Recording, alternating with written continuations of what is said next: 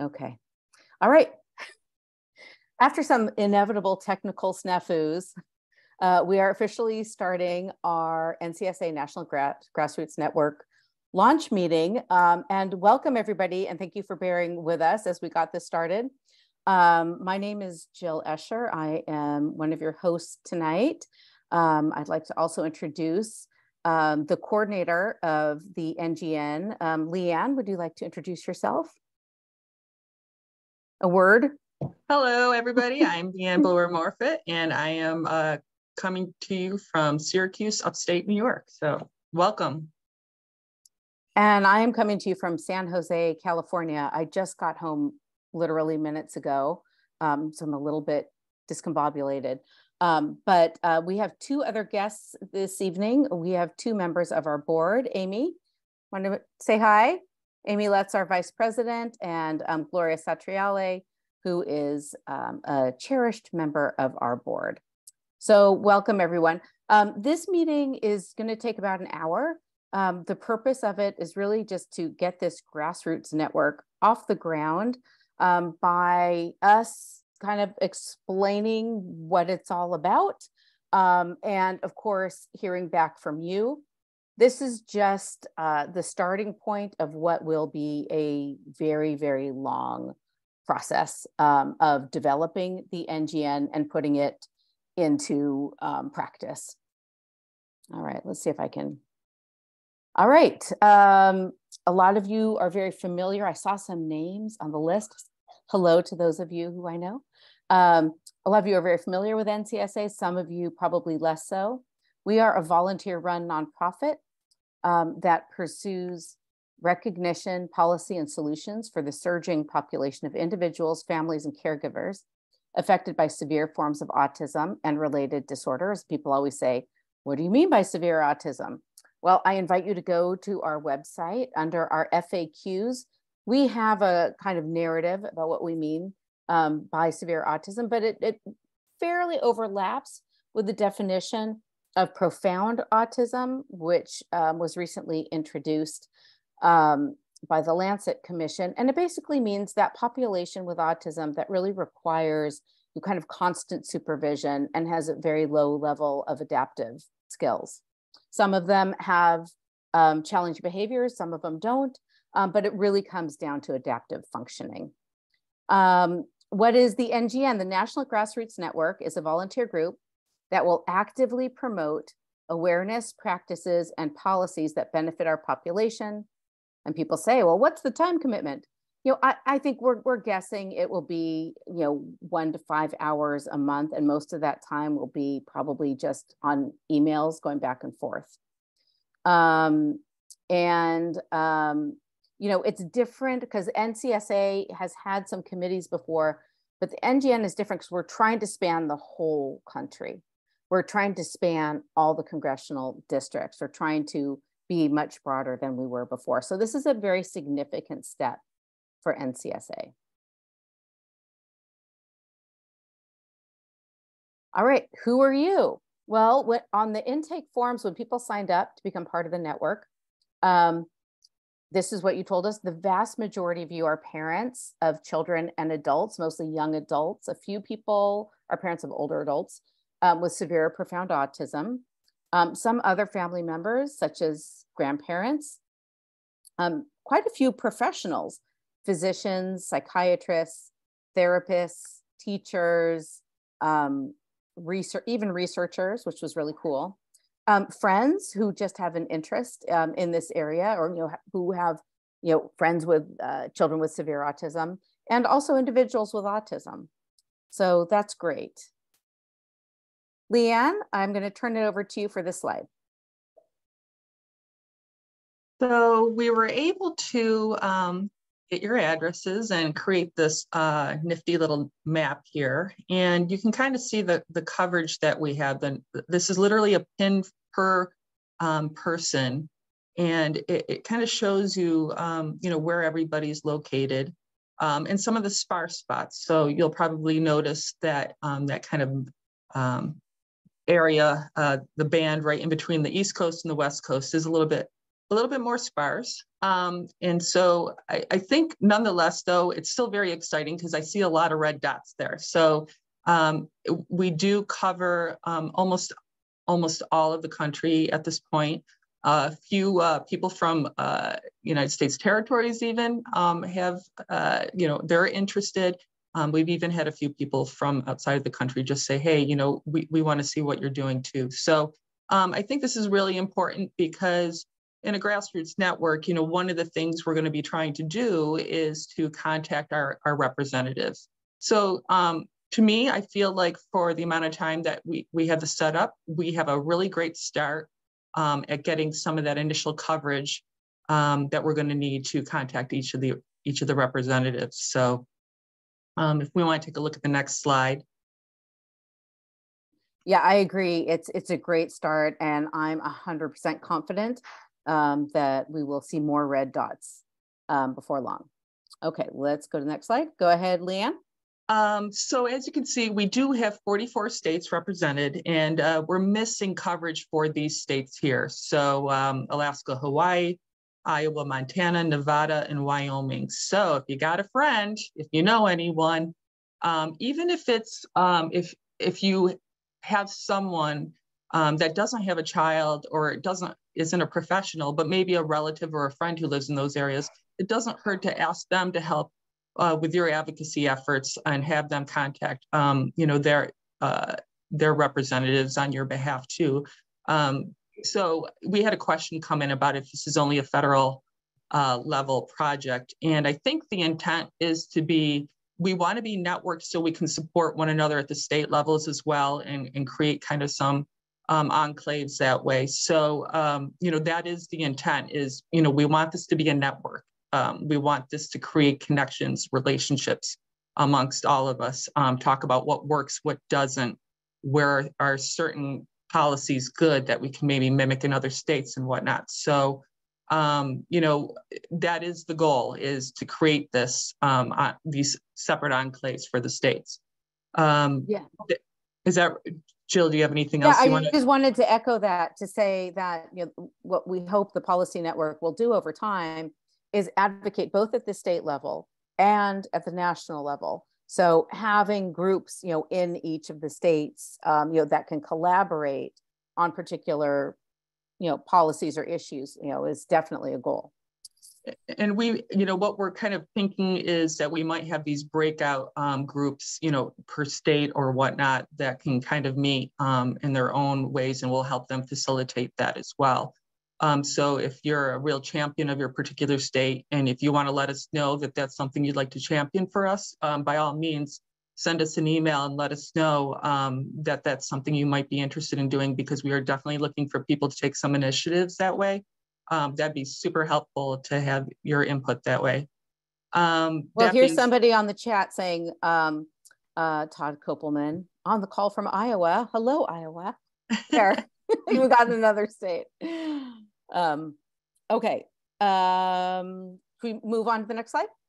Sure, and just so you see that, we, um, just so people know, um, you know, I'm not sure how familiar people are. Some people might be a little bit more familiar with grassroots um, advocacy than others. So, you know, I think the end goal is we have 435 congressional districts, um, and we are hoping to get as much coverage over those districts as possible. Right now, um, we have 228 of those congressional districts covered.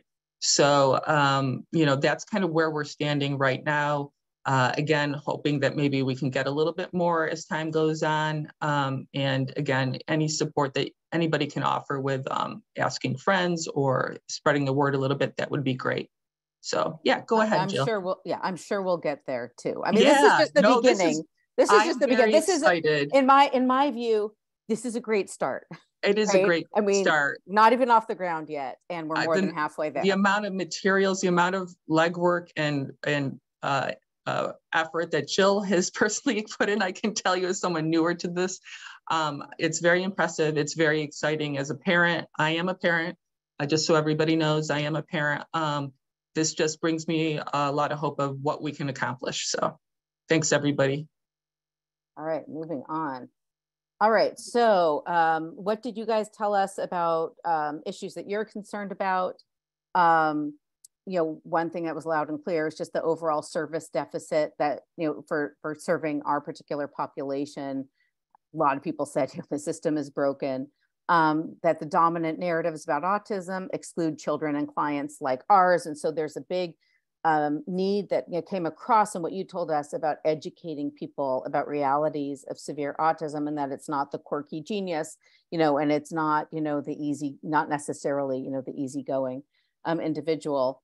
Um, let's see, people are raising their hands. So I think we're gonna, I, I don't know how we're gonna handle the chat, but let me get through this slide.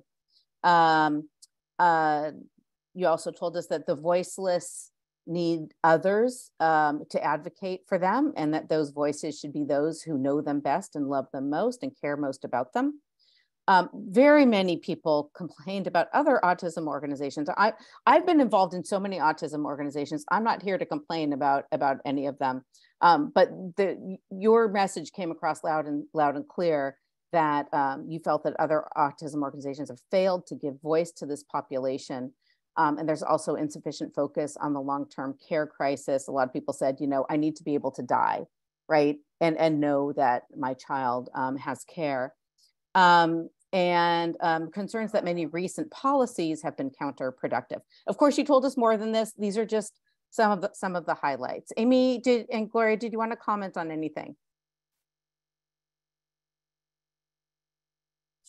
Not yet. I mean, you've got it really covered. I think that you know, uh, I saw in the chat, can you tell us what congressional districts are covered and which ones are not?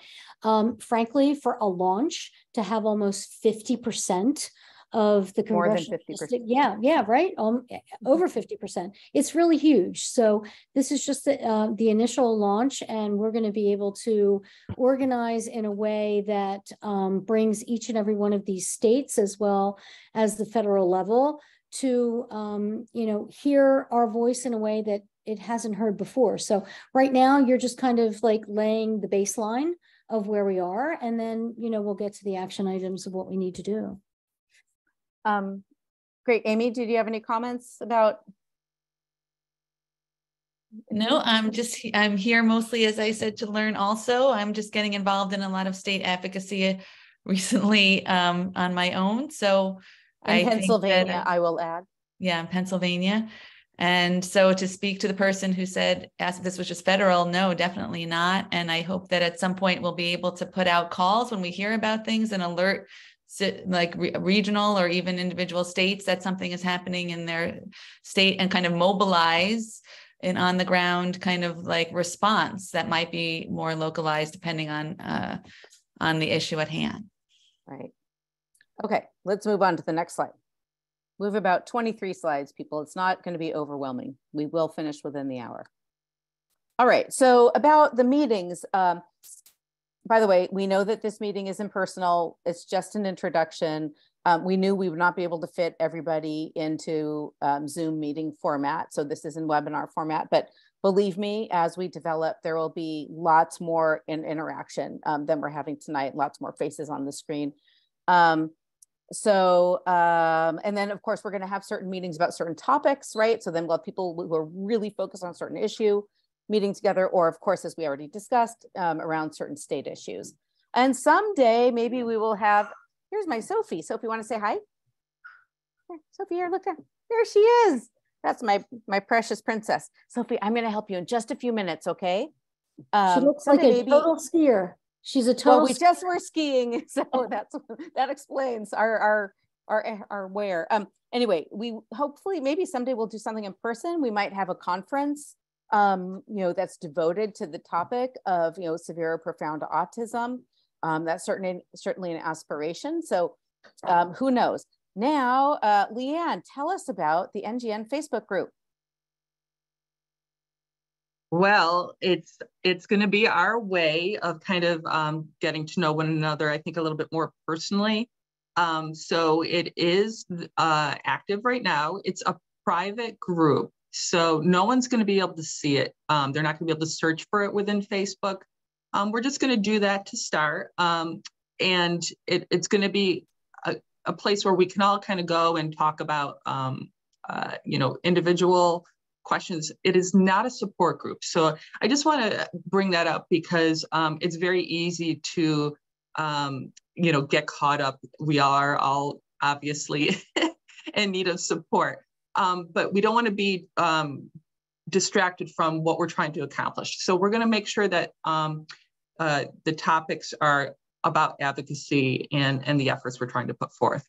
Um, it is going to be, as I said, private. We do have some rules that are just basic, you know, keep it civil um, and constructive, keep it private. We're going to keep uh, conversations in there. You know, the topics that we talk about are generally, um, you know, they're, they're personal information sometimes about our, our kids, ourselves, or whatnot. So we want to make sure that we understand and keep that confidentiality and, um, you know, keep that trust going within the group and understand that our group is dynamic. You know, we're evolving over time. Um, some things that are said today we might not even agree with in, in six months from now. But so it's going to be dynamic, but it's going to be a great place for us to meet one another um, and and possibly even create some um, some subgroups right within there. So if you see the um, QR code, yeah, someone just posted when uh, I go into the QR code, it says content not available now. So uh, what's the other way they can sign up? I mean, I know that didn't you have I, a link in one of our emails? I, I will make sure and send out the link to everybody. So I apologize. Um, I had tested the QR code, but I don't have my phone with me right now to just see what's going on right now. Um, I will make sure that uh, everybody um, gets a copy of the link to the group. Um, and Jill, if you see, I don't know if you can, I think hmm. that is a link right within there. If you want to show people the group. Oh, then I have to like stop share and reshare. Ah, okay. Never. Yeah, never maybe not. Okay. We will make sure to get yeah. that to you. Um, and uh, it should, what I am asking everybody to do, there will be a few questions. Um, they're just basically, I'm asking everybody to provide your email address. So I'm going to make sure that the people in that group are within our NGN. Um, we have a spreadsheet, uh, a database, um, so to say, speak. So I'm going to make sure that only people who are on our list are getting into that group. Um, so there'll just be a question about filling that out when you do enter the group. So okay. great. Yeah. So look out for that. You know, um, if you're on Facebook, please join. Even if you're not on Facebook, maybe join just for this group. Think about it.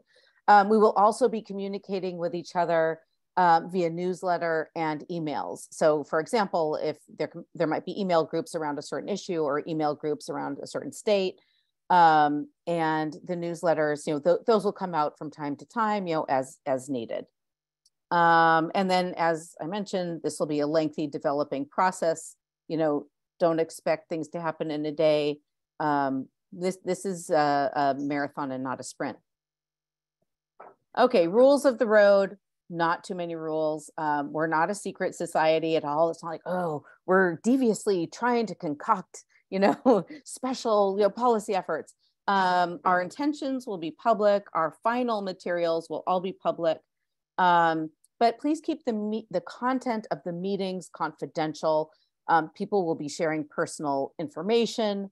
Um, also, we're going to be engaging in sort of free and open discussion with some not fully formed ideas. And I don't want people going out there saying, well, NCSA said blah, blah, blah, you know, when it was just sort of part of brainstorming or idea de development and something that really hadn't gone to, you know, the board for a vote. I mean, we have a board that's the final say on our policy positions. And if you go to our website, you will see um, our our, our position statements. We have a tab, position statements, and there are several of them.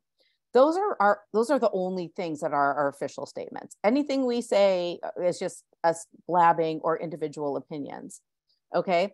Um, when we uh, criticize others, we please try to make it constructive, no bullying, obviously no selling of products or services. You know, unfortunately, the autism sphere, as you guys all know, is notorious for um, really um, vitriolic uh, rhetoric.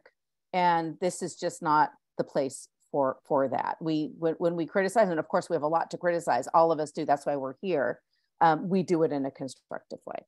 Um, participation is vol entirely volunteer. You are not getting paid. Maybe you'll get like a special hat or t-shirt or something, um, but you know, you're not getting paid to do this. But I wanna say, um, there will be opportunities for compensated work along the way. I can tell you right now, we are going to need designers. We are going to need researchers. We are going to need writers. We're going to need people who are good with data. We're going to need people who are good at PR, right? For example, those aren't the only things. So, you know, there may be opportunities to actually have, you know, uh, very kind of discrete, dedicated contract work along the way. But your participation in the NGN is voluntary. Um, are there any questions about any of these rules or any other comments before I go on? Jill, before you take questions, Leanne, Mhm. I just clicked on the link and it doesn't work. It go, it Oh, says this The Facebook content is group not link. available right now. So just, I don't want you to be deluged with observations about that. Thank you very much. We will fix that and uh, get back to everybody. Okay, thank you. It will work. So we're going to get everyone on that group. Mhm. Um, okay, so let's talk a little bit more about um, advocacy, what what we're about. I mean, NCSA has always been a very pragmatic organization. Um, we're not ideologues. Um, uh, we are looking for policies that are based on reality and common sense and not on kind of fantasies about autism. We believe in accepting our children for who they are, not who we want them to be and um, you know we we want we are their voice. We want to do the best we can um, for them. Um, equity is another principle. Severe autism is an underserved community and um, there is a fundamental need to radically expand capacity to serve those with the greatest challenges. Um, efficiency. Uh, childhood and lifespan programs should feature highly efficient use of public funds. Um, call me cheap, but I'm a very strong believer in efficient use of funds. We we sometimes, in in my opinion, see I think misguided priorities and how we spend um, taxpayer money, and um, this will be an interesting thing to do. Also, as we know, our state and federal representatives hate spending money. They they hate spending money on disability programs. Let's just say it. They do, and so um, the more efficient we can be, the better um, person-centered. We strongly believe that services must be, be driven by individual needs and not by abstract ideology or paternalistic ideas. How is it structured? Um, this is a really big deal, people. Um, I am the interim policy chair as the president of NCSA, but we do need to appoint a new chair. Now, I'm very certain that we will find a new chair and we'll find a great person. Right now, we don't have a policy chair on our board. Um, the pol so obviously, if people out there are interested in that position, um, please contact me and let me know. And I'd love to talk to you. Or if you know somebody um, who might be interested, again, contact me. Policy coordinator, as you already know, is Leanne, and thank goodness for her um, doing all the the heavy lifting and nuts and bolts behind the scenes. Um, we do have a policy committee. It's been a little quiet lately because we've been sort of focused on getting the NGN off the ground. Um, this policy committee makes recommendations to the NCSA board, and um, we want to add people to this committee, um, and we want to kind of strengthen this committee. So that will be another focus for us moving forward. Obviously, you guys are the National Grassroots Network. You're the heart of this whole effort we also collaborate with like-minded organizations um, and and there are many and those collaborations hopefully will increase over time. Potential future goals include hiring a lobbyist at the federal level and um, possibly even getting an executive director for ncsa but as i said before ncsa right now is entirely vol volunteer run. Um, you know, getting an executive director will hinge primarily, and hiring a lobbyist will hinge primarily on fundraising, which we've been trying to do. Um, and I think we're going to have to do more of it to achieve those future goals. But for right now, um, we are very much volunteer driven. Any other comments on this before we move on to the next slide, ladies? Nope, they're like, okay, Jill, move on. All right, what will you do? Uh, the most important thing is I think like that the NGN now exists. You know, it, nothing like this existed before, right? A really coordinated effort around severe autism. So the fact that we exist and can mobilize is a really big deal. Um, and um, I think it will make NCSA, you know, a stronger organization and make us more relevant to the things that really matter to people. Um, now, in terms of kind of advocacy, there are two ways to approach advocacy. The first is kind of reactive, which is where there are pending matters that have been initiated by other organizations and we take position on those matters, you know, whether we're, we're for or we're against or whether we want to make other comments. And those don't only, and it's not only at the state and federal level, but also at the, um, you know, in terms of practice and in terms of research. Um, we uh, recently, just for example, um, some members of our board, including myself and Amy, um, we uh, penned a commentary that's going to be published in a major autism journal soon, um, all about um, language use in autism. So that's not a state matter, it's not a federal matter, but it does relate to practice and research. Um, and reactive advocacy, that could mean emails, calls, letters, meetings, um, Zooms, social media, or even things like I just mentioned, you know, writing a journal article. Um, there are lots of ways to do it. And we will definitely, definitely be calling on the network to do these sorts of things. And this can be at the state level or the federal level. And then the other way to do advocacy, as you guys know, is proactively, where we have a specific agenda and we define the goal and we define the path forward. Now, doing that obviously is a huge effort. And I think none of us want to waste anybody's time. So when we define a proactive advocacy goal, we want to make sure it's fairly achievable. I mean, there are a lot of goals out there in the disability advocacy world, and a lot of them I think are pretty far fetched. So we, we want to be very realistic. Um, and uh, what we're going to move into now is actually talking about some of these issues, right, that, that are important and that have bubbled up um, over the years. You guys received the NGN backgrounder, the policy backgrounder. Um, this is a stat, what I would consider a static compilation of input from many sources, from our policy committee members, from our board members, from our followers, from researchers, from many, many, many people that um, you know we've been in, in, touch with over the years. It's an eight-page document. Um, you have the PDF. If you go to the emails that Leanne has been sending out, you can click and download the PDF. So it's just, it, it's not a strategic plan at all. It's sort of a brain dump.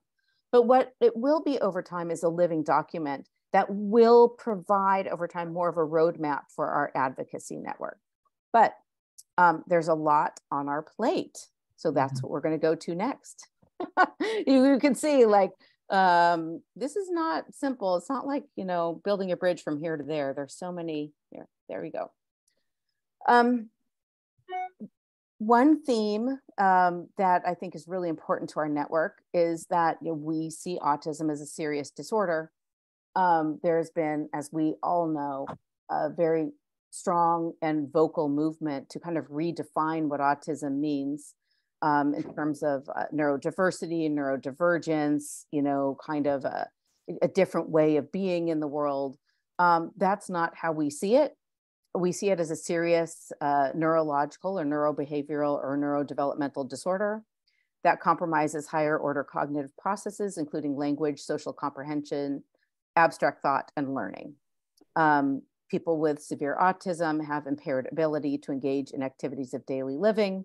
Many have challenging behaviors, including aggression, self injury, property destruction, and elopement, as well as medical conditions such as seizures, and importantly, due to pervasive functional limitations, these individuals are unable to live independently, they're incapable of earning a living in, in any meaningful way, and they require 24 7 support or close to 24 7 support. Um, and ASD is not just a kind of benign difference. Um, research has really shown, um, especially in recent years, how it's rooted in foundational abnormalities of very early brain development um, the way that neurons are born, the way neurons grow, the way neurons are placed in the cortex, the way they function and the way they connect is different in brains with autism. It's not just a benign um, condition. Um, anything, any comments on this to my, uh, my fellow panelists? No, my fellow panelists have nothing to say on this. Okay. All Well, I think it's a, it's a webinar in, in and of itself, right, Jill? It's a webinar. Yeah, each one of Yeah. these is very Right, so there's so much to say and so much- that you've, you know, kind of bullet pointed the, you know, primary considerations is a good thing, but we can't get down into the weeds of the neurodivergence challenges. I was just sitting on a dissertation committee today where they wanted to change ASD to autism, uh, notwithstanding its designation in the DSM five, because it would offend the neurodiversity community. Insane. So Yeah. that's another topic for another day. Yeah, I mean, listen, there are five million fires to put out. Yeah, I know uh, it's it's very hard. Um, let's see. Now, Christine says, I checked my emails. I didn't receive the eight-page document, um, the policy backgrounder. Yeah, it, it was embedded in a- in a link um, announcing this meeting, but we will make sure that it is maybe an updated version is linked in in a following email. So don't worry about it, people. And eventually, it'll go on our website too. Again, it's not a secret document. Mhm. Um, but it's just right now it's sort of preliminary and draft. So that's why we just sent it to you. Um, okay, so okay, another theme that's very that came out very strongly in our discussions is that um, autism is an unprecedented crisis. Um, as we know, the CDC has found a rate of approximately 2.3% of US eight year olds have autism. About 60% of those children have borderline or significant intellectual disability. Um, in- here in California, where I am now, um, we keep remarkably good records um, about autism in our Department of Developmental Services system. Our caseload um, in that system, which only accepts those with substantially disabling developmental disability, right? It excludes those who are who are high functioning and independent, um, even those who are, very, you know, it excludes people who I think are not very independent too. Um, the caseload has skyrocketed 50 fold over the past 35 years from about 3,000 cases to about 158,000 cases today. This is not a subtle increase. Um, this is a massive, overwhelming, very obvious increase in very, very serious disability. Um, we've seen that areas of New Jersey are, have upwards of 5% um, eight of eight-year-olds have autism. Um, there, we know that there is one, is it one school district? 12% of all the boys in that New Jersey school district have autism. These are very, very high numbers. Um, so bottom line, though once a rare disorder, seldom seen in clinics or even in institutions, autism now touches nearly every family in America today. Um, and one thing that's really critical and I think is underappreciated in the in the autism advocacy world is, you know, if you go to developmental disability services systems, they were they were really geared towards those with like Down syndrome, um, cerebral palsy, um, epilepsy, and you know other kind of rare genetic disorders or kind of early traumatic brain injury. Um, and there was very little autism in those systems. And what's sort of interesting about those sort of older, more prevalent um, DDs is that these individuals often would not outlive their parents. What's different about the autism population is our kids will by and large outlive us. Our kids are by and large are quite healthy. And um, this makes this very much an unprecedented crisis. Our, our DD systems are really not equipped to deal um, with this new reality. Okay, I'm going to go to the next slide. Okay, you guys are going to hate the next couple slides because they're just packed with with verbiage, and I hate verbiage slides. And my my goal is here is not to lecture you. We're going to go to Q and A and discussion fairly shortly, but just to show you how much we have on our plate, really. So, yeah, when we say like, "Oh my God, where do we even start?" it's sometimes pretty hard when you look at all the things that we are facing. So at the federal level, here's the first slide.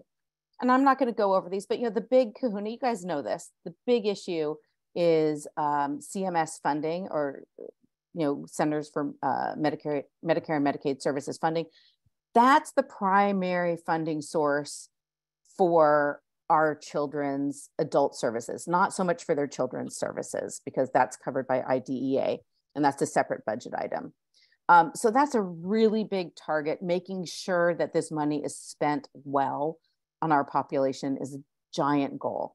Um, and uh, and as we know, the wait list to even get those services is a, a huge catastrophe. So you know, we could just spend all of our time on that and not do anything else, frankly. But I want to go over like how many other things there are. Um, you know, housing subsidies is a big deal for our population. Our population, of course, can't afford their own housing. Um, immigration is an issue at the federal level because, frankly, uh, the direct support provider workforce is often uh, often comes from immigrant communities. Um, the NIH is the biggest funder of autism research, um, and uh, that comes primarily through what's called the Autism CARES Act, which will be undergoing reauthorization, I believe, next year. Um, the CARES Act is what authorizes the IACC which many of you guys will will know about and maybe lament about since it seems to be sort of um, consistently skirting issues that are important to our population. Um, Department of Education, of course, IDEA, which is a very big deal for our children. CDC uh, monitors autism prevalence, um, and hopefully we'll be doing other research as well you know, military, uh, a lot of you guys know, uh, are, are, are really dependent on TRICARE. Military also funds a lot of autism research. Um, Social Security, you know, does provide uh, monthly checks to adults and sometimes children um, to um, help pay for their expenses. Department of Labor um, can govern uh, rules around um, work programs. We know that 14C, which was the uh, non-competitive employment or still is the non-competitive employment provision in federal law is and is under attack um, everybody has to be in competitive and integrated employment and of course that's impossible for like 99% of our population um, the administration on community living um, is often the uh, the kind of effectuator of um, federal policy and um, the acl has a strong bent towards neurodiversity and away from serious um, neurodevelopmental disability. Um, another federal uh, role is the ABLE Act, which is a tax preferred savings plan for people with disabilities. Um, and a huge issue is uh, the federally funded DD advocacy world, the state councils on developmental disability, the disability rights organizations. Um, oh, there, there are many, uh, I can't even list them all. And um, again, um, they are staffed primarily with people with a strong neuro uh, neurodiversity bent now. And again, sort of trending away from you know some of the more serious issues that affect um, families and individuals like ours. Um, there are also federal advisory committees, um, the President's Council on People with Intellectual Disability, National Council on Disability. There are others. All right, uh, at the state and local level, um, again, the states are the ones who implement all that CMS funding, all the HCBS funding, um, the ICFs, um, the day programs, et cetera. Um, they fund often early inter intervention, um, although also that's, as we now, uh, mostly covered by insurance. Um, and when it comes to insurance, there are still a lot of important issues for us. Private insurance does cover things like ABA and to some extent some adolescent and adult um, care as well. And um, mental health parity is, I think, a, will be a, a, very important issue for us to make sure that the care that our children need, especially crisis care, hospital care, um, is covered. Um, we have, uh, you know, uh, inpatient programs. Um, by the way, you know, they're huge wait, wait lists to get into a place like Kennedy Krieger a lot of our families have kids who are suffering really severe crisis um, and um, you know then they try to get the parents try to get a placement and they'll say well wait a year you know and the parents can't can't do that and so they go to the hospital and they're in the ER and then the ER, you guys are I'm preaching to the choir here and then the ER is like well we have nowhere to put your your person and so they might be in the ER kind of chained like literally like in the ER for months on end. It's really a disaster.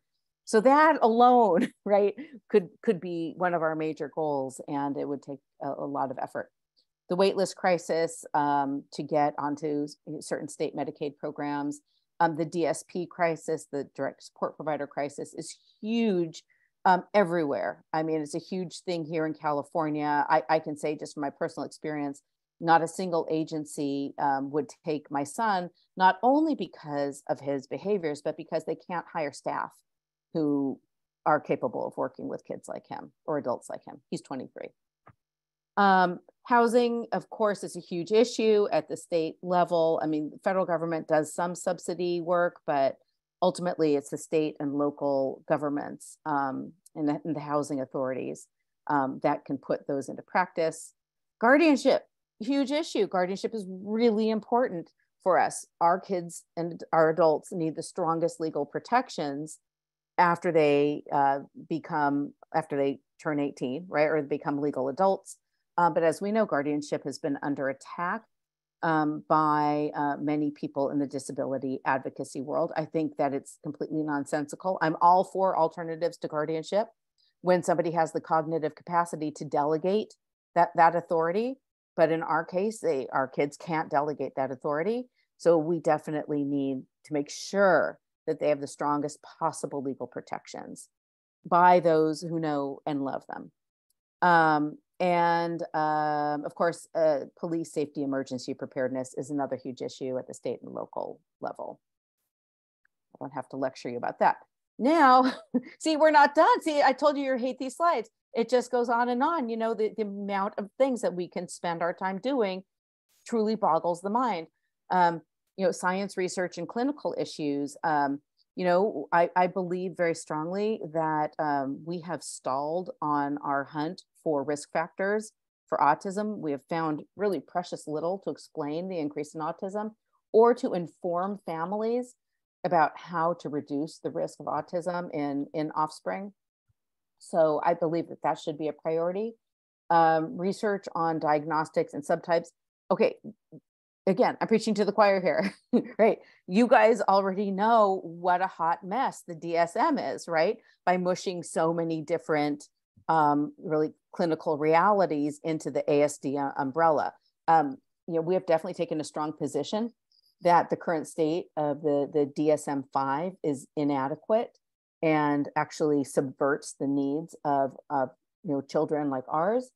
Um, but you know, moving that needle is not easy, and will will take time and um, you know more research and more um, I don't know shining a light on on the problems involved in that. Um, treatment, giant issue. I mean, giant, giant, giant issue. I mean, if, if there's one wish that autism families, or at least severe autism families, can be granted, is they want the challenging behaviors to go away because the challenging behaviors so profoundly impair quality of life for the individual who is affected and their family members. So we are extremely supportive of um, treatment, um, you know, research on treatments that can improve um, functioning and quality of life. Um, research on prevalence is a big, big, big deal. It's sort of amazing. Like I just told you that autism has increased 50 fold in um, the California Department of Developmental Services system but there's almost no research projecting actual needs based on this curve, right? This incredible skyrocketing um, curve. So I think that uh, we definitely need more research to project future needs so that our policies can be, we can be prepared, right? Rather than having kids crowding ERs who are ill-equipped to deal with them. Um, treatment access is a very big deal, very, very big deal. Um, we are definitely lacking clinicians. Uh, of course, we know this. This is across psychiatry. It's not just in autism, across mental health. We don't have enough providers. We don't have, have enough caregivers. Uh, we definitely need to reduce disparities to ensure access regardless of you know ethnic or socioeconomic background. Um, we definitely need more clinicians to be aware of underlying comorbid mental health and other health conditions that might be driving the behaviors um, and, uh, and distress. Um, expanding access to treatments that do in fact benefit some in our population. For example, ECT, which Amy has written about, and she's been a leader on, on that particular topic you know, people say that's electroconvulsive therapy. Um, and I don't want to belabor this too much. Um, people say, oh, you know, you're torturing your child by subjecting them to ECT. Well, I mean, no one wants to do this to their child, as we know. But you know what what we have to do as advocates is explain that there is a subpopulation for whom certain alternatives might be really vital. Right? We're not trying to prescribe it for everybody with autism. We're trying to say, hey, we're calling out this population. We're important too. Um, you know, we need more, uh, obviously reimbursement rates are a huge issue that um, are dragging down um, uh, appropriate provision of services. Um, I, I, can go through all of these, but, you know, we need training, we need curricula, we need um, standards of care um, so that, you know, insurance companies might reimburse because there are standards and there's medical necessity. Um, and we also need to reduce fraudulent practices. we are unfortunately autism is just like a minefield of nutty stuff and it has been for a very long time it continues to be and there are fraudulent practices a lot of non-validated communication um, interventions a lot of non-evidence-based treatments i'm not saying we shouldn't pursue those i think you know new ideas are often good they just have to be subjected to research they have to be subjected to um, observation and validation. That's all. And right now, that's not happening in a lot of places. Any comments on this before I go on? I know everyone hates these slides. okay. All right. We're running short on time, so I will continue. Other. Okay. See, it doesn't end, it just goes on. Um, Autism Awareness Month. Um, our focus has been on promoting authentic awareness in April instead of portraying autism as something maybe it's not in our population. We'll probably continue to do that. Um, INSAR is the big international society for autism research. Um, it, like everybody else, you know, it's kind of taken this uh, pendulum swing strongly towards neurodiversity themes and away from themes that are important to our population. So uh, some of us, uh, for example, we did um, a, a, a, a, workshop, a special interest group at the last year's conference or this year's conference. Um, and, um, you know, having a voice, making sure that severe autism is on the radar and is a very central focus for that organization is important to us. Um, language and representation, of course, there's so much language policing. We kind of talked about that. And I know you guys are experiencing that as well. We support realistic portrayals of severe autism. We don't feel like, you know, only certain types of autism, you know, deserve to be on the stage. We believe all types of autism deserve to be on the stage. Um, the September 26th project is an emergency preparedness effort um, that we sponsor. Um, that's in honor of our late founding VP, Feda Almaliti, um, and her son, Mohammed, who perished in a house fire in 2020 on September 26th. And um, that's just an annual effort to promote emergency preparedness among autism families. And so that will continue. Um, technology is another thing. Um, we're really interested in improving technology that, that can improve the health and well-being and quality of life um, for our population. Um, and really important, uh, ensuring that parent and family advocacy is really at the forefront for this population. Um, there are those who try to delegitimize um, parent voices, which I think is crazy. um, and we just want to make sure that our voices are heard. Okay, Leanne is going to take it away for almost the rest of the meeting. All right, we're going to run a poll. The answers are anonymous um, for these, just so everyone knows, but I'm gonna launch the first poll and we're trying to get a feel for what everybody's um, uh, most uh, critical issue is to you. So we have, if you wouldn't mind giving us a feel, and we might do some more, um, more formal surveys in the future, but I just thought this might be interesting for right now to get a feel. And uh, these are a lot of the issues that Jill just covered. So let me see.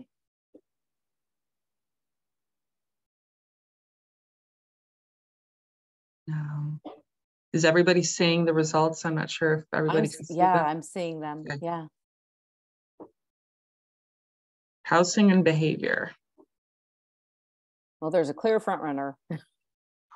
Sure. Sure. Okay. Long term, right? That's what none of all of us want to live forever. That's that's the thing, right? So So our precincts have reported, and everyone can see this, Leanne, right? yes. Okay, our precincts are reporting um, a landslide victory for um, long-term care and supervision, including housing. Um, our Oh, they're runner-up- saying, you know what? I think only us can see them. So Oh, okay, so on. Then now I Leanne, got to the figure out how report. to. Ah, I don't, I don't know um, how to, yeah. This is the part where I have to figure out. So um, until I can, how do I show the results? We could just report it out, I think, Yeah. for. Yeah, so basically, everybody, just so you know, um, sixty-one percent of you, uh, said that long-term care and supervision, including housing, um, were, share the poll, someone's telling me to do, was definitely the, the distinct winner at sixty-one percent with a, twenty-six percent saying, um, treatment and management of challenging behavior is, is another, um, is the next critical issue for you. And a couple of the comments I'm reading, they're saying that, you know, they had a hard time deciding between those two things. So, um, so obviously, you know, I think, you know, a lot of us parents are thinking the same things that way. So, all right. Oh, now I can share results. There we go. So do people Okay. see it now? Hopefully everybody can see it now. yep.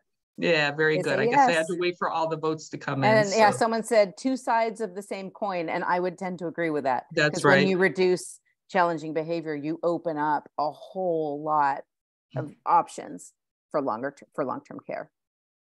Good Right. point. Okay, now to our next poll. Oh, sorry, I can, And uh, these are, um, this is multiple choice, or this is, you can choose more than one, but we're trying to get a feel for what people are comfortable with, with um, doing advocacy. So this isn't necessarily what you have experience doing, but what you think you'd be comfortable and willing to do. Um, and emailing, you know, we'll probably have some form emails um, and calling, attending meetings, um, you know, the research has shown for for grassroots networks that visiting face to face is probably makes the biggest impact out of everything. But recent research is also showing that our social media, that our representatives are using it and looking at it. So, um, in light in, light of what's going on with Twitter and what we don't know is going to happen with Twitter, I think that's interesting. Um, but it might behoove some of us to get a little bit more Twitter familiar, and um, and that might be something that we're uh, uh, going to ask for folks to do. So I'm going to give people a few, just a few more seconds to answer, and I'll show the results. Um, but I thought that was very interesting. I, I didn't realize until I did some research that um, yes, they are our representatives do have people on their staff that are monitoring social media um, for these things. So I'm going to end the poll. And there we go. So that's great. So it seems like a lot of folks are, we have some interest in doing all sorts of different activities this way. And what I'm hoping to do in the future is, is do a little bit of a presentation on um, how to do effective advocacy. So that's one of the things I'd like to spearhead and, and, um, and for people who don't have experience, um, you know, we, we don't want to just say, go do this. We want to help guide you through that. So, um, and if we have any experienced advocates out there, um, you know, we welcome your input to that as well. So um, just let us know your interest in, in doing those things. Okay, very good. okay, thank you. Thank you, everyone. All right, so um, as we move forward, um, we will be creating, um, oh gosh, let's see, hold on. How do I get this off? Sorry, sorry, sorry. Stop sharing. Let's see. Ah, hold on, I can't see anything because the poll's in the way. Do you have a way to remove the poll, Leanne, or? I thought I turned it off. Okay, well, Oh, hold on, let me get rid of it. sorry. it's no big deal. I, I, I can still go on. It's not like I need to read anything. Um, so um, as I said, uh, you know, we we will be producing materials over time. Right now, we do not have a library of materials beyond what you see in on our website. Again, under position statements, NCSA position statements. Those are public statements about you know uh, what we believe on certain topics. Um, we don't have other materials prepared yet, but we will be kind of converting this backgrounder with all that stuff, all that brain dump stuff I just went over. Those will turn into, um, um, you know, actually uh, kind of a living documents that will change over time and be constantly updated and that can be used by advocates. We will create leave behinds, right? So when you have a meeting or you're emailing somebody, there's something you know, visually appealing that summarizes our, our position on a particular topic. Um, we'll create infographics. I just stole this lovely infographic from one of our members, um, Michelle McFarland McDaniels in Illinois, who has an incredible new nonprofit that she's forming called Thrive Enrichment Services. Um, and, um, you know, we will be creating these kinds of things over time. Um, and uh, videos as well and i think we are we don't have enough time unfortunately to show it.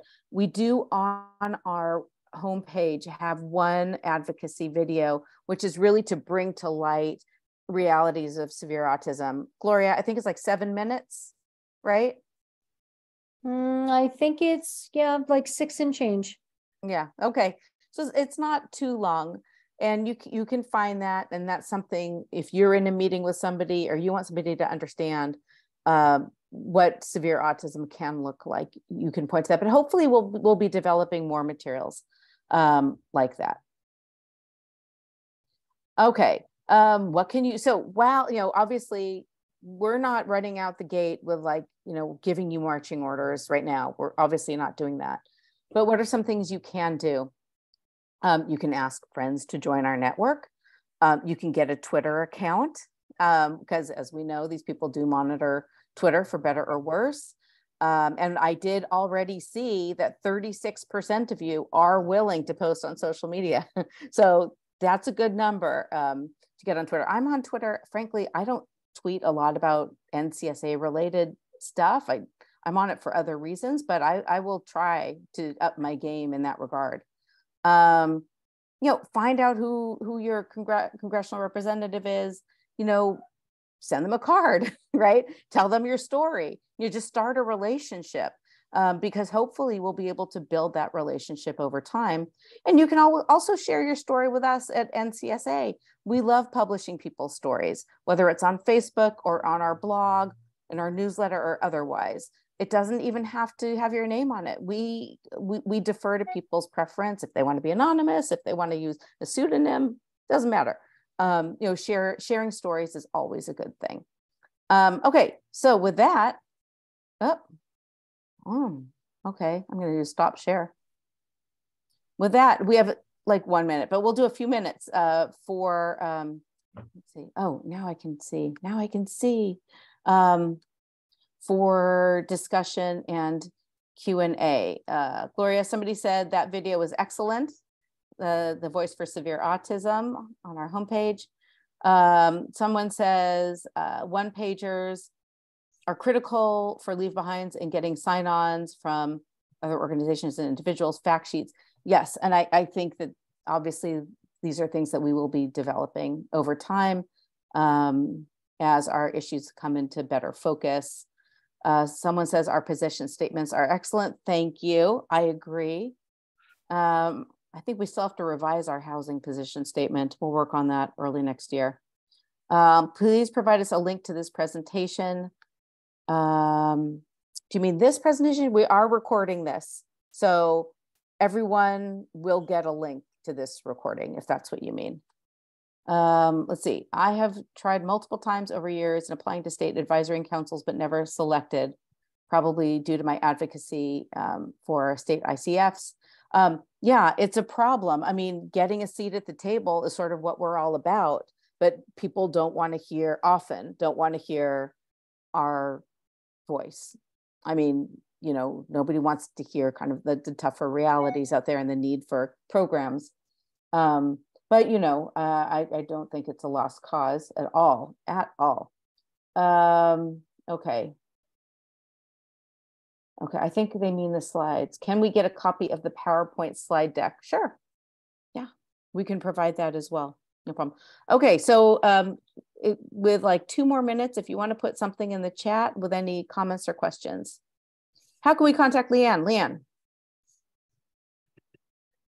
Thinking about that, um, I'm going to give everybody. I, I have uh, my personal email address, and I'm just I just realized I was trying to make a subset of that before to post to everyone so that everybody could go to like a subset email. But I'm just going to give everyone my personal one. If you could do me a favor um, and just put NCSA in the uh, subject line, um, so that will help me um, keep it separate from my 26,000 other messages currently residing in my inbox. And I wish I was kidding. Um, so uh, I'm going to provide that through chat right now.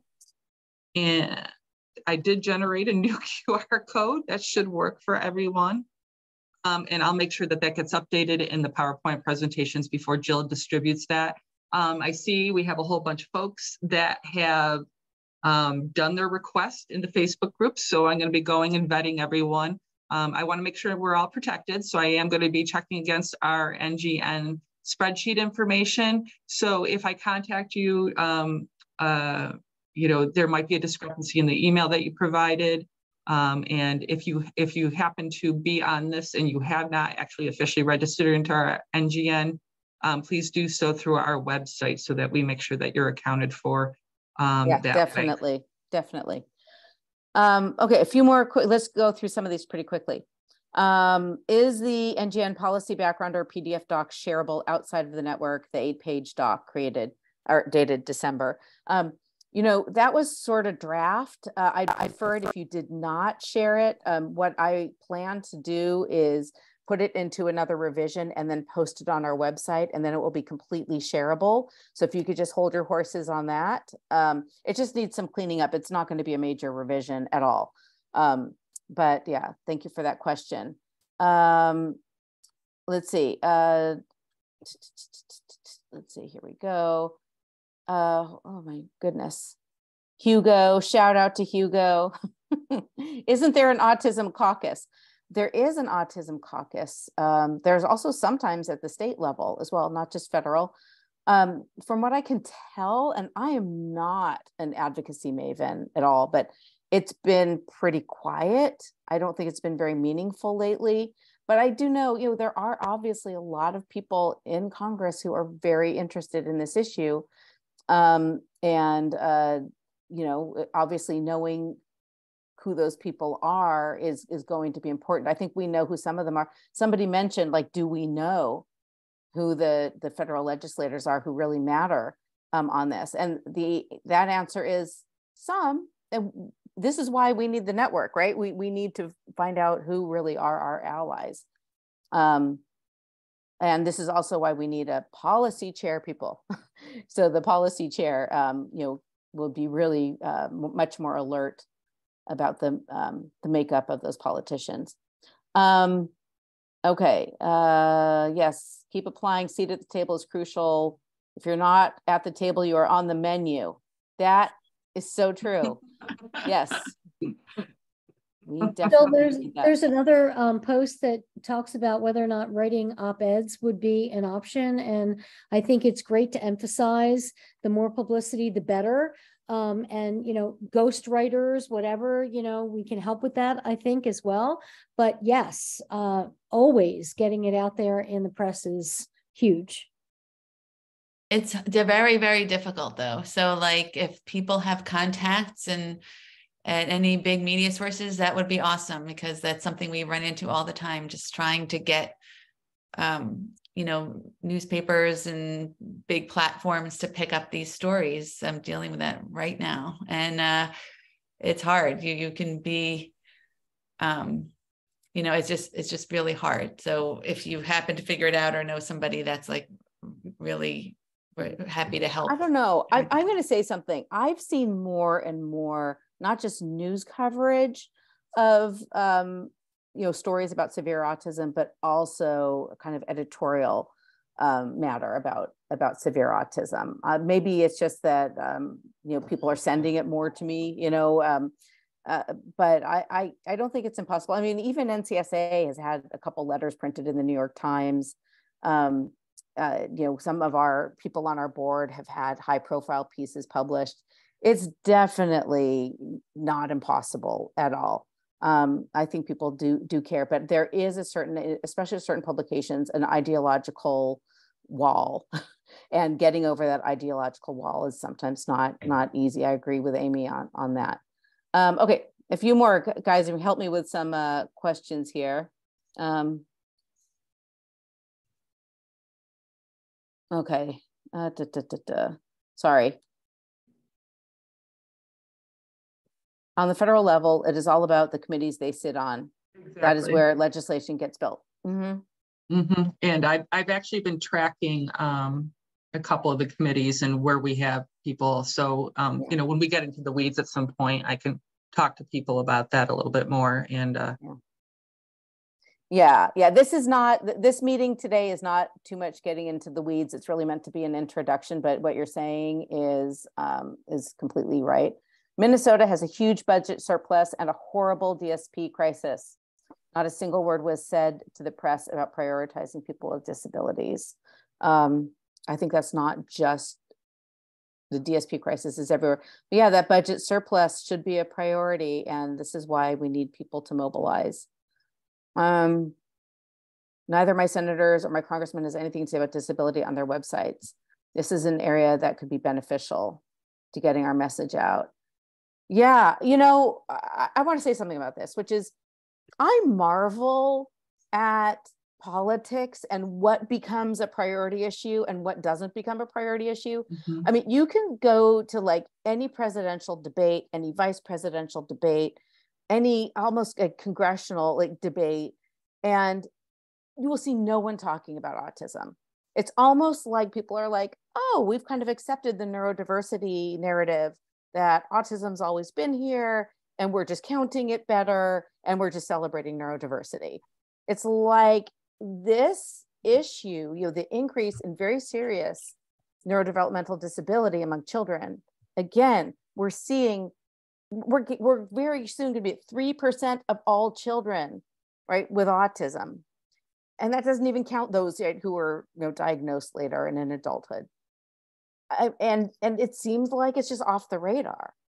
And this is a big issue. And it's, it's, it would take a Herculean effort to get it back on the radar. I think it was on the radar for a while, right? When there was a strong uptick in cases and no one understood why. Well, now we have a 5,000% increase in California. And no one seems to care. It's a crazy, absurd fact of our uh, of our world. Okay, maybe a few more, and then we're gonna have to call it quits. Anybody else want to comment on some comments?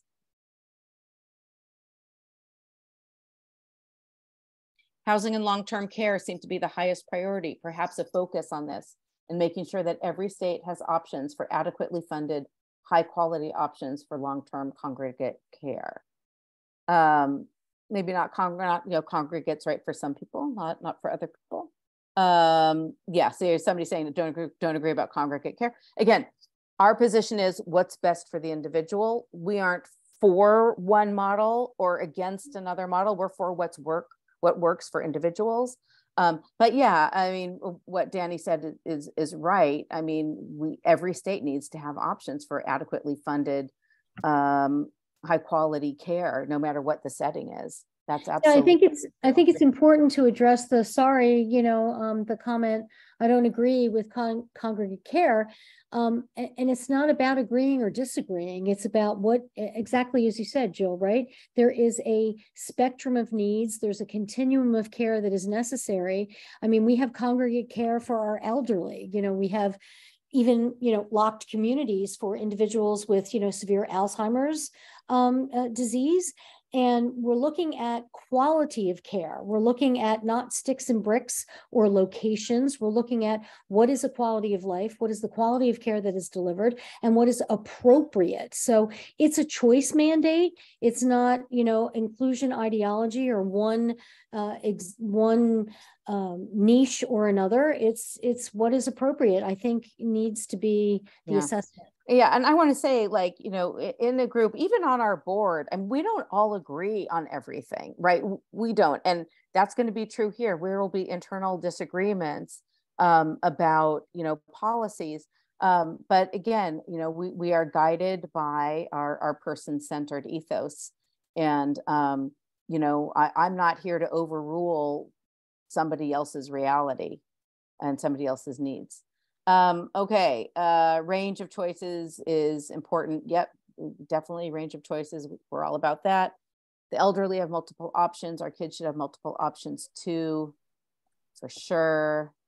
We need to make sure all states know that the need and demand for long-term care will certainly increase dramatically over the next few decades. Absolutely, because of the increase in birth prevalence of those already diagnosed. That's absolutely true. And I think it's a very underreported um, um, topic for our country. Um, uh, okay, somebody wants to talk to Dawn. Dawn, Jennifer wants to talk to you. Um, Together for Choice is an organization to possibly partner with for housing. Yes, Together for Choice is definitely um, one of the like-minded organizations that we have actually already partnered with in the past, and we will continue to do so.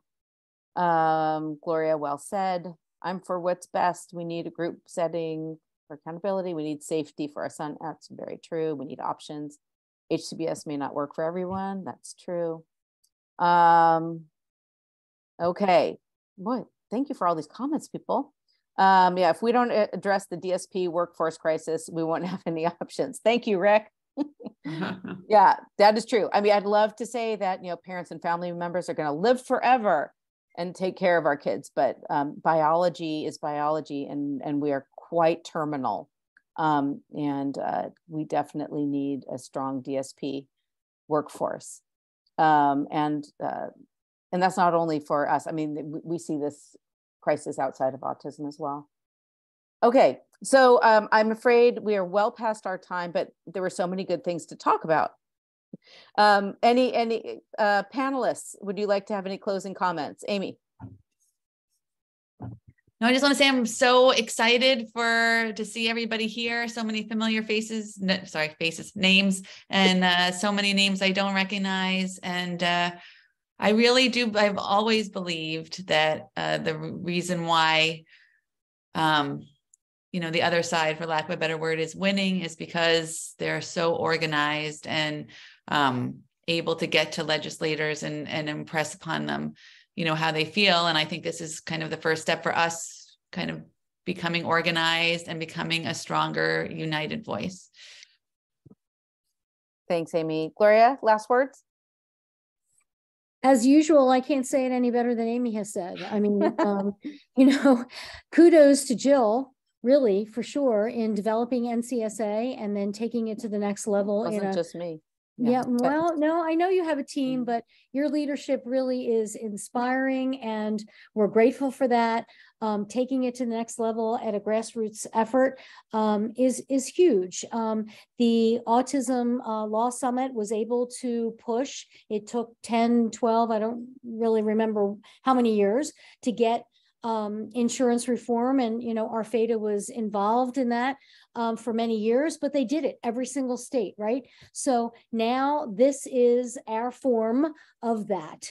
And you're already half over halfway there in terms of legislative districts represented. And and that's what it takes. It takes getting uh, FaceTime uh, with our legislators use the video uh, if you haven't seen it, please go and see it because I think you can use it.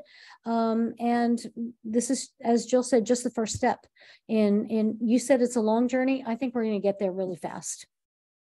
Oh, okay, Gloria. well, I'm glad you think so. Um, Leanne, final words. Uh, I just want to thank all our participants. Um, this is hard to get to meetings. I mean, that's that's in itself is um, just so great that um, y'all came tonight and uh, so many of you are interested in getting involved. I just, we're very appreciative of your interest and we, we want to support you um, in supporting us. So thank you again. And um, my email was in the chat. So I know there were a few questions about what congressional districts are not covered. I can provide that information to folks. Um, so feel free to uh, contact me Um, and maybe we can even add in my email to um, the PowerPoint slides if you're going to send those out. Um, but thank you, everyone. Again, thank you, Jill um, and Amy and Gloria for um, including me um, in these efforts. I'm very excited about what can happen. Yeah, thanks so much, everyone. We will have a follow-up newsletter with all the various links and the link to this recording as well. Um, so stay tuned for that. And in 2023, we will meet again. Um, so um, maybe not as a whole, maybe it'll be smaller groups. so stay tuned for that as well. And I wish everybody happy holidays. Okay, signing off, everyone. Thank you so much. Thank you.